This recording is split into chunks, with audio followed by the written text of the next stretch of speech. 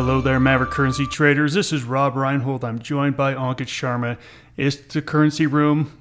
And boy, we just got done with a crazy, crazy week. I've been trading for 27 years. Ankit's been trading for 16, 17 years. And for both of us, this is one of the crazier weeks that we went through. So let's jump into it. In this session, we're going to talk about what happened. We're going to take a look at these markets. Lots has changed, so we need to change our outlooks on things. And then, of course, we score everything from plus three to minus three, pair them up. That's where we hunt this week. Disclaimer This video was created for professional Forex and crypto traders.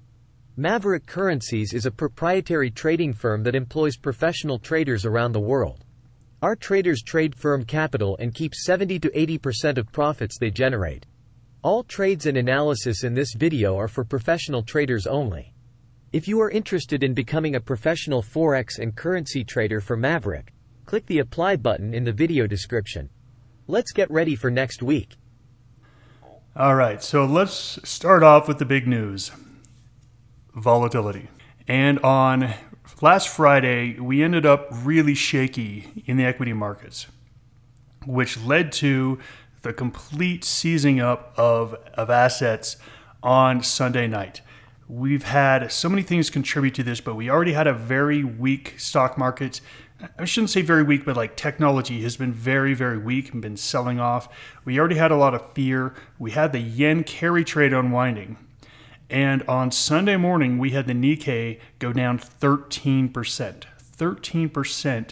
And this caused there to be a huge reaction all across the globe. And there were lots of markets that there was no liquidity. Now, this is something that hasn't happened since COVID.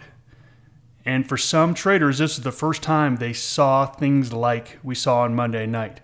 We had some assets that had no bid and no ask, meaning you couldn't even trade them because no one was out there putting a bid and an ask. Now, these were fairly illiquid, and Forex is the most liquid market, so we didn't see that problem, but what we saw was very wide spreads. Some of you have never seen what a 20 pip spread looks like just to get in and out of a currency. We saw that on Monday night. Many of you have not seen currencies move 100 pips in the matter of seconds. We saw that on Sunday night. It was really, really crazy. And look, we all lived through it. Our traders did great, Mavericks. We're so proud of you really everyone did really, really good. We were all positioned the right way. So bravo to you. Good job. Let's move on to the RBA. Heard from the RBA next. They left rates where they were, but they actually said that they are not ruling out rate hikes in the future. That surprised the market. Here's the thing that should have been very positive for the Aussie dollar. The Aussie dollar did not hold the gains off of that. So we always use a term called sentiment here at Maverick.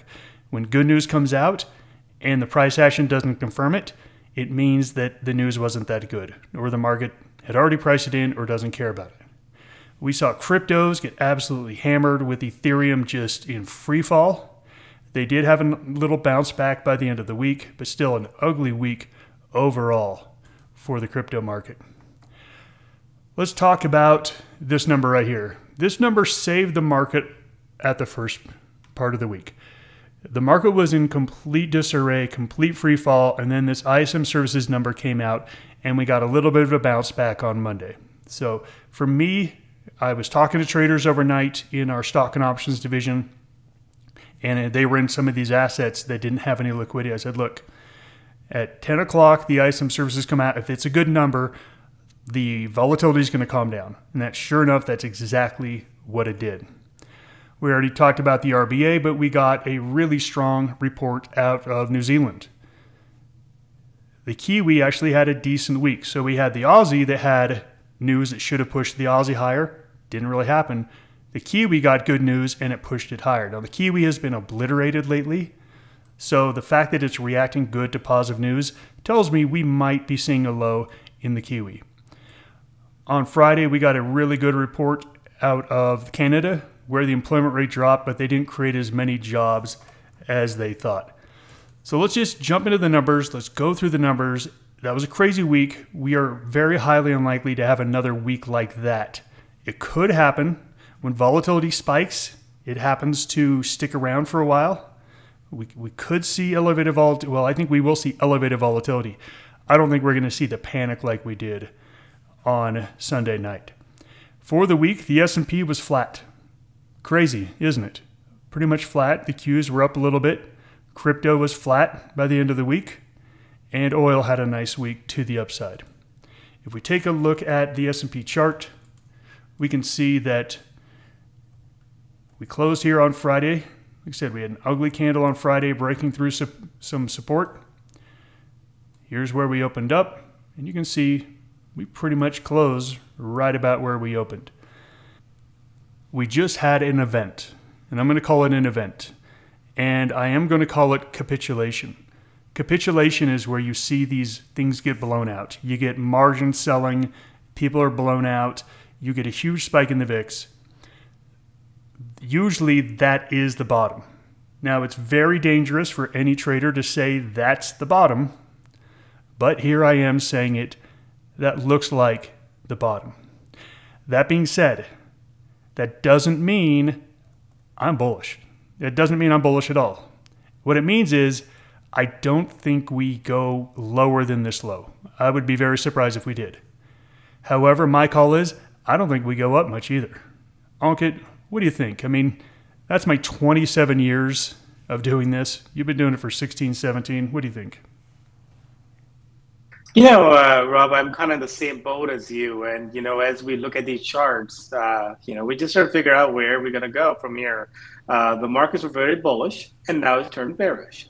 Uh, I think there's valid uh, points that we have here that, uh, you know, the markets, the economy is still pretty strong. So, you know, we, we get a lot of scares in markets, and then we start to get that rebalance. And I feel like in the next month, month and a half, we probably go for more like a rebalance uh, where you know we do have some recovery, but we just don't get to the highs that we were back in July. Um, you know, there's still a lot, a lot of things to go through. Um, as in the upcoming weeks, we have a lot of economic data which will dictate on uh, the uh, the Fedra, the U.S. Uh, cutting rates. So I think there's a lot to go through. But in the shorter term, uh, I think we'll probably see a little bit more of a recovery. Uh, maybe get towards what the moving averages are. Um, and after that, we just have to kind of see where it goes. And we might get that choppy price action. You know, we are in this peak summer trading environment where, you know, we, we do see things chop around. And, uh, you know, I expect some something like that. But yeah, definitely a, a different approach uh, uh, going into, you know, how we were back a month ago. I, I think we don't, we're no longer in that market environment. So we are not at plus three. Maybe we're not at minus three. We're kind of like right in the middle there. So uh, you know, that's where I think we probably will live uh, until we either get some really bad data, which will derail the markets more, uh, or the more data comes out better, and you know, the good news is good news for the markets, and bad news is bad news for the markets. So I think that that sort of phenomena continue to play out. Wherever the market goes, the good news is volatility is up. Volatility being up is really good for us directional Forex traders and crypto traders because it means that the moves are bigger. Bigger moves means it's easier to catch those runs and easier to catch some of those runs. When moves are very small, it's very tough to get in there at the right timing. But when moves are big and they last for a couple days, it makes it much easier. So I'm very excited about um, the month of August. August has traditionally been my least favorite trading month. And every August, I'm like, ugh, August. I hate August because it's typically a low volatility environment with just a, a slow grind higher and it's a difficult market. I'm very excited for this August. I think there's going to be some great trading opportunities, and I don't really know where the equity markets are going to go. I mean, we just don't know at this point. So let's take a look at the performance here. Swiss franc was the worst performer. The Swiss franc and the yen have been the best performers in this risk off move. And you can see when we bottomed out and we turned around, they did exactly what they should have done. So at the end of the week, they both closed down, which tells us remember, this is the correlation, the correlation between equity prices and these two currencies. Right now, the correlation is working. When we were falling, these were running up. When we bounced, these things sold off, which means you can kind of play these as you would play equity. So if this equity market goes higher, I do like the Swiss franc and the yen as shorts. And just what should have happened happened here on the growth currencies as well. They were selling off when the markets bottomed. We actually saw some good price action. So I think right here, right now, the correlations of risk on, risk off are really what you should be trading in Forex. In crypto, you can see it's the haves and the haves not. Bitcoin had an up week, Ethereum, Litecoin had down weeks. Crypto as a basket is pretty uninspiring. Bitcoin by itself, I actually like it quite a bit. All right, we already took a look at the S&P chart. We're at a negative 2 here. So that means we are bearish. This is our scoring system. We are bearish. Both Ankit and I think we probably have a little bit more left in this bounce before we have uh, a sell-off that probably doesn't go down to a new low. We think we're going to hang out below the 50-day moving average for a bit. If we take a look at the bond market, bond market's in the depth of the selling. Got all the way down to 3.6%. I was talking with our stock and options group saying the market wants bonds to be around 4%. Around 4%, it's, it's a low rate compared to where it was, but it's not plunging lower because people are freaking out. If bonds can hang out in here, this is really good for stable equities and for falling volatility, which means that equities probably creep up and go a little bit higher. This is the crypto basket. I'm not going to spend much time on it because we've had two, two of the cryptos go higher, two go lower. It's not a really great chart to look at to really show the representation. I think we're going to look at the cryptos on an individual basis this week. Next week, let's talk about what is on the schedule. We got wages out of Australia on Monday night. We've got an employment report out of the UK, and we've got PPI out of the US. So you can see here, we're starting the week off with a lot of news, and then we get the RBNZ. So the first two to three days, there's plenty of news to keep this market going. It's why I really like this trading environment. Higher volatility is really good if you sell your losers and hold your winners. If you were just 50 50 win loss, but you got stopped out on your losers and you let your winners run for as long as they could, 50 50, you're going to make a ton of money in that environment. As you can see on Wednesday, we have CPI out of the US and the UK, followed by employment out of Australia. This week has a lot of good things that is going to keep this market moving. US retail sales and UK GDP, and then UK retail sales on Friday. There's just news every single day. We've got heightened volatility. We've got lots of news. I'm telling you, this is going to be a great trading week. We just have to figure out where we want to be long, where we want to be short, and that's why we do our currency scoring. Let's go in and score the currencies, and that's going to tell us where to be hunting. As I said, we're going to look at the cryptos individually, not at the basket as a whole, because they are moving differently. Now, here is Bitcoin, and look, I like Bitcoin best of all of the cryptos. Here's the problem. When I look at it on a chart, I just don't love it. I just don't love it. As you could see here, we did not hold this, well, okay, we held it a little bit. We had one little plunge here. We held that support level, but we got a ton of overhead resistance. We're right in the middle of it, right at the moving averages. I just can't get excited to go long Bitcoin. Now, if you said, Rob, I'm going to play this as a um, as a trade that is in the channel, or I'm going to just be long at the bottom and, and sell at the high. You could say, okay, we probably make a run up to the 67,000 area in Bitcoin. That's 7,000 points. That's an 11% move. That's, that's enough meat on the bone to go after it. The short term velocity score is pulling back Look, it's not a great trade, but I want to just show you the rest of the cryptos and just show you that if you are looking to trade crypto, it's clear that Bitcoin is the only one you want to be focusing on. Here's Bitcoin Cash, just it's it's lower, it's it's even struggling to get up above the moving averages. Ethereum is just an absolute disaster. This is where new traders say, "Oh, Ethereum is down the most, it's going to bounce back the most." Guess what? We've done studies, everyone's done studies. That's not how things work. The things that go down the most tend to have the weakest bounces. the things that hold up when markets go down, when markets recovery, tend to have the best bounces. So do not go chasing after Ethereum just because it's been down so much. And you can see Litecoin looks just the same. It's just, look, I don't love cryptos, but if you're going to trade something, it's got to be Bitcoin. Ankit, will you take us through Forex? Do you want to be a professional trader? Maverick Currencies is the oldest US based Forex and crypto prop trading company that will pay you for trading with our capital. Trade our capital and keep 70 to 80% of the profits. We are looking for traders just like you that are hardworking and motivated.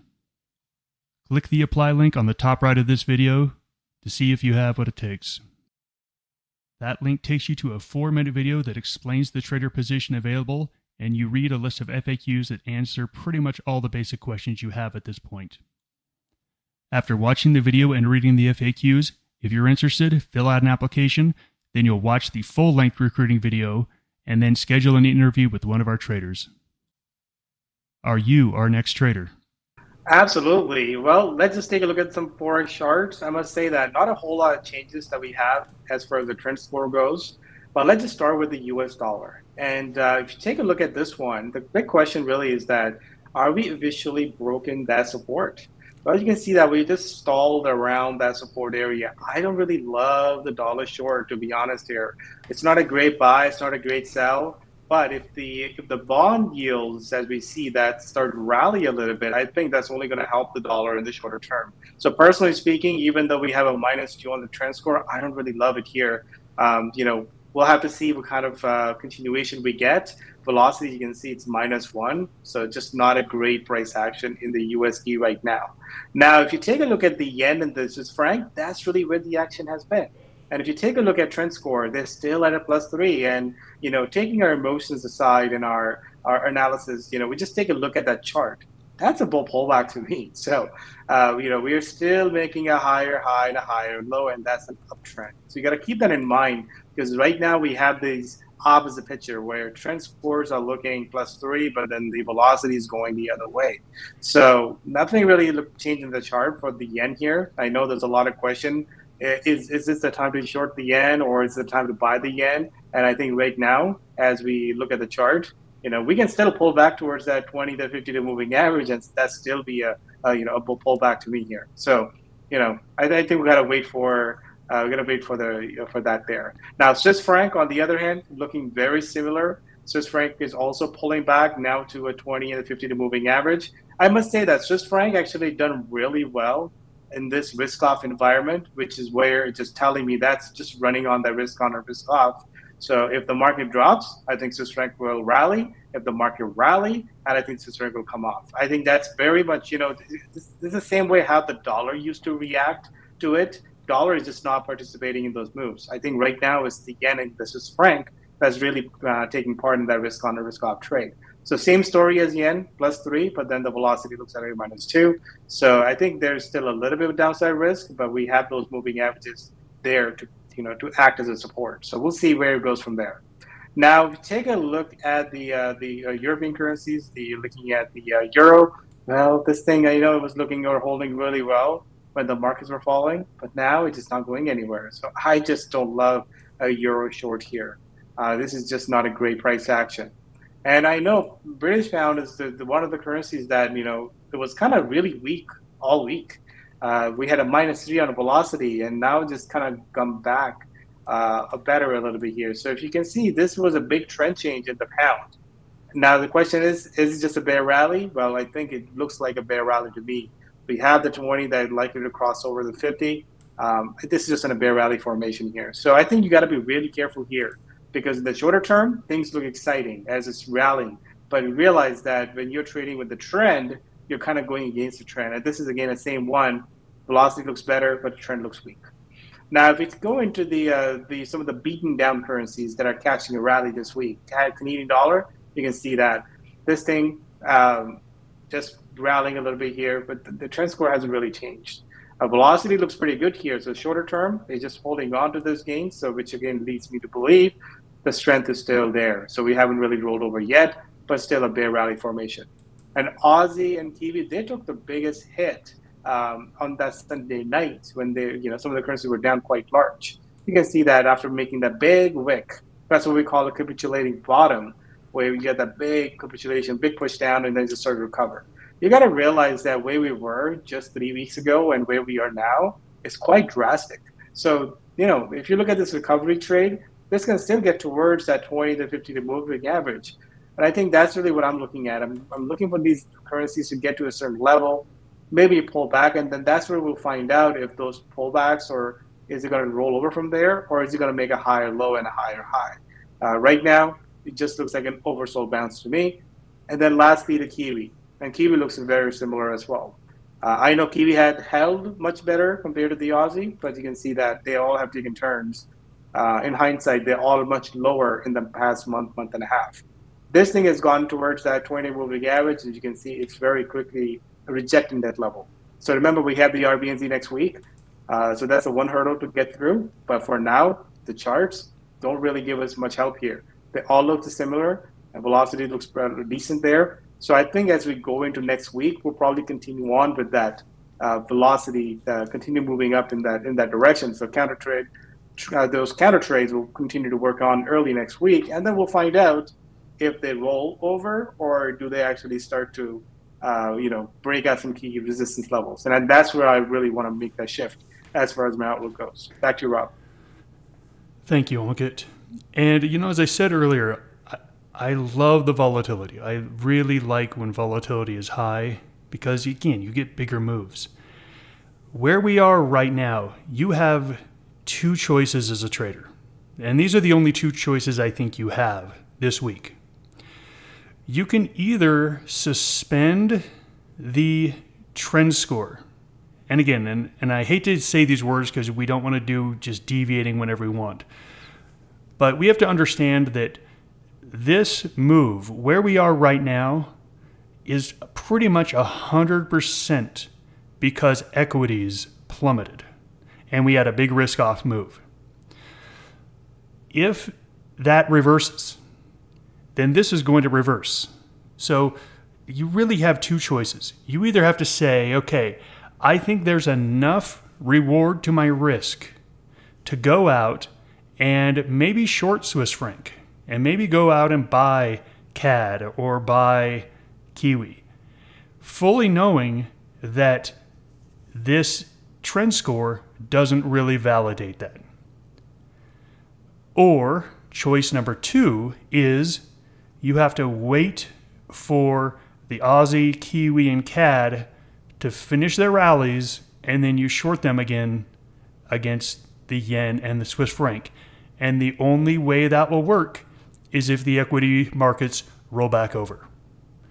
I think those are your only two choices. Ankit, would you agree with that? That that's really the two choices you can make. Either you can do a a again, ignore the trend score and focus on okay, velocity score and just trade that or you have to wait for this rally to fail, and then you can get back and be short the growth currencies against the safe currencies.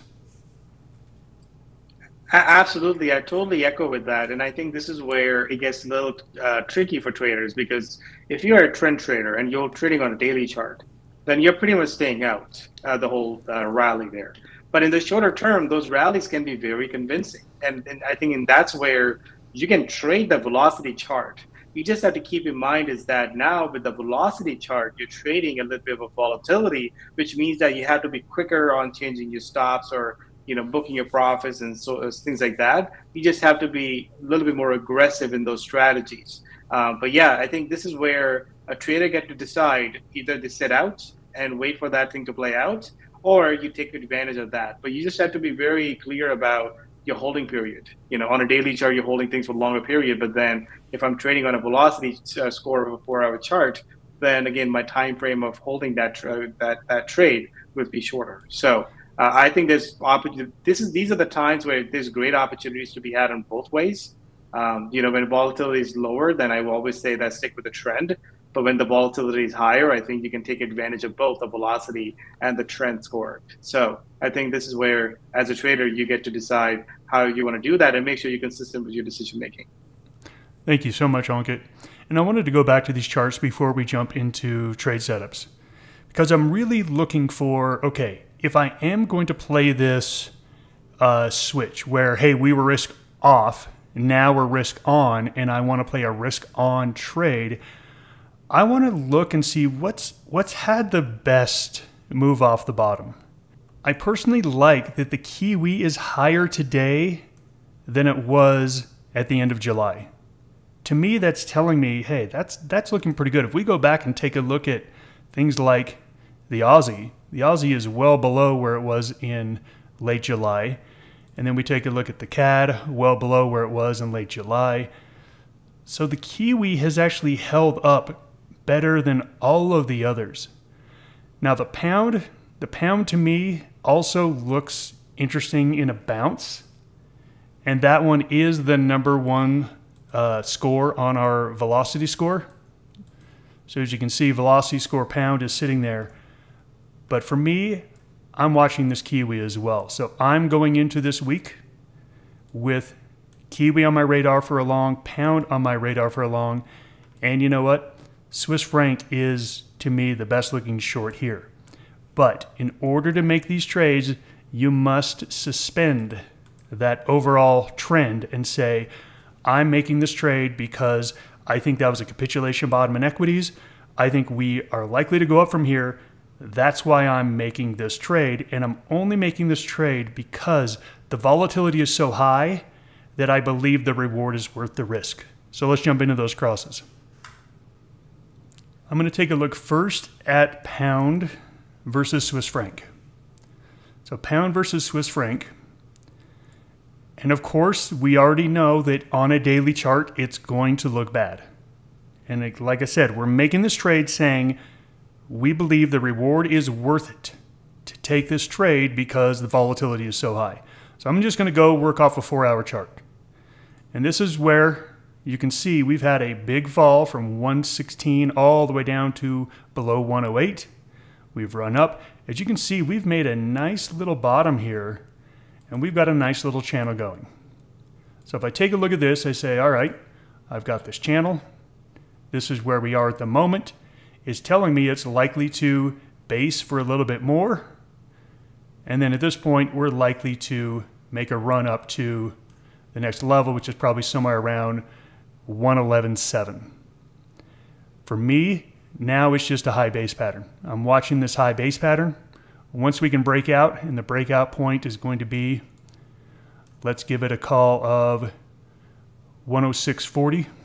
106.40 is where I'm going to be putting my my alert 106.40 and that's going to lead to a target up here of what did I say? We're up here around 111.7 as you can see that is 100 pips. That's a nice gain and that's why I'm willing to make this trade because it's a nice fat potential return and then my risk is going to be tied be below one of these parabolic SAR a moving average something to where if I'm wrong, I'll lose 40, 50 pips. If I'm right, I can make 100. Or if we really get a nice rally next week, it's going to be even larger than my target. And I'm going to ride that as far as I can. I do like Kiwi the best. To me, Kiwi is my favorite. So I'm going to take a look at Kiwi Swiss franc. Same thing. On a daily chart, it's going to look abysmal. Sure enough, it looks absolutely abysmal. I fully know that, so I'm going to be trading this based on its current levels. And you can see we've got a ton of resistance up here at 52.3. I mean, look at all this resistance right up here. If it can break above that, that's going to be a really nice breakout. And you can see we don't really have any resistance until about this 53 area. That is 120 pips from where we are right now. That's a 2.2% move. That's a monster move. Now, look, we don't have to catch it all at once. This is where I love legging into positions. When I think there's going to be a big move, I don't know when it's going to come, but I want to start sticking my toes in. I can take a, four, a fourth of a position, fourth of a position. I'll add on maybe another fourth of a position if it goes a little higher. I do want to have my pretty much my max position on if and when it breaks above this 52.33 area. So that to me is really the point where I want to have most of my trade working to be able to uh, hold it up to this 53 where I think there's going to be the next level of resistance. This is my favorite trade of the week. This is what I'm watching. But look, right here, right now, it's pulling back. It's pulling back. So let's let this thing see if it holds 5180. If it doesn't hold 5180, guess what? This trade's busted and I'm back to square one. But this is what I'm watching this trade. Okay, what do you want to take a look at? Yeah, Rob. Well, the other chart that I would like to take a look at is the Aussie Swiss franc. Uh, I just want to point out that since we have the RBNZ next week, we just got to be careful about that. But then we have the RBA already out of the way. This thing is also kind of setting up very nicely here. And same thing, looking at a four-hour chart where you're seeing that recovery, you're seeing those patterns playing out.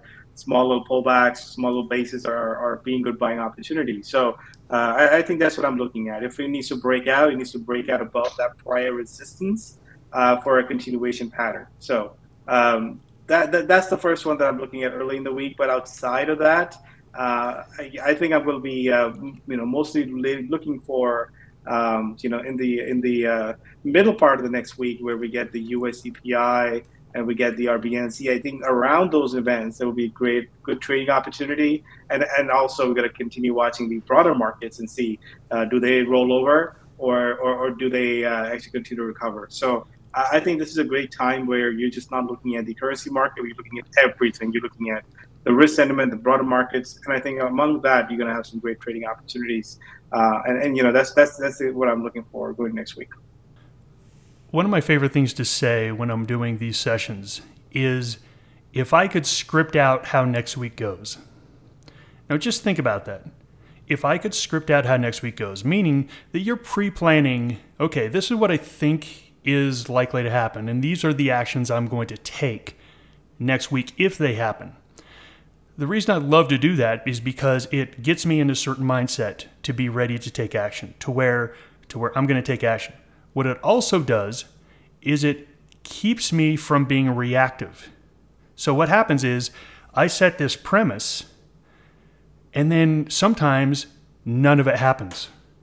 So my brain has already said, hey, if this happens, you're going to take these actions. What ha- then happens is, oh, none of the stuff I thought was going to happen, I no longer think that I have anything I can do because what I thought was going to happen didn't. Now, it causes me to go back and start the process over, look at the market, score everything. As you can see, that really keeps me from just going into the week and being like, oh, this is going up, this is going down. I've got a very focused idea. If I could script out this week to be the perfect trading week, it would be that we get a bounce, a nice strong bounce Sunday, Monday, Tuesday, and to where all of the currency crosses I just took a look at have really nice runs. And then on Wednesday and Thursday, the market have an utter and complete collapse and failure to where all of a sudden yen and Swiss franc are great longs again against the things that we just talked about going long the Aussie, the Kiwi, and the CAD and the Pound. That would be the perfect script to ride this little bounce out a little bit more on some shorter term trading and then be able to go back into that risk off trade for another leg down. That would be perfect. Now, is that going to happen? I don't know. But I've got my mind focused on that. And if I see the data is, is confirming that that's happening, I've already predetermined my actions. If it doesn't happen, then I'm in a little bit of a state of confusion and I've got to pull back and reevaluate. Okay, that was wrong. Reevaluate. Where do we go from here? I think it's a very good practice for all of our traders to do because it really sets you up to take action when the data when the data confirms your premise. If the data doesn't confirm it, then you are you're throwing up your hands and saying, oops, I was obviously wrong. I got to go back to the drawing board. Everyone be careful this week. Heightened volatility. It's a great environment, great opportunity, but also comes with heightened risk. Just be aware of that and Position management, position sizing will keep you safe. Everyone have a great weekend. Let's go make more pips this week. Goodbye, everybody.